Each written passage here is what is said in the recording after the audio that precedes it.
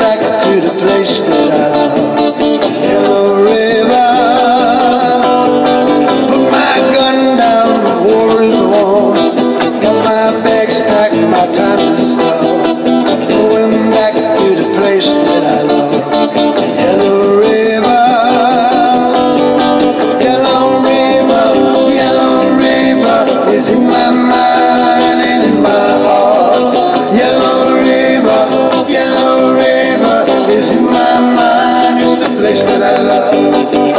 No time for explanations, no time for news. Tomorrow night, you see me sleep.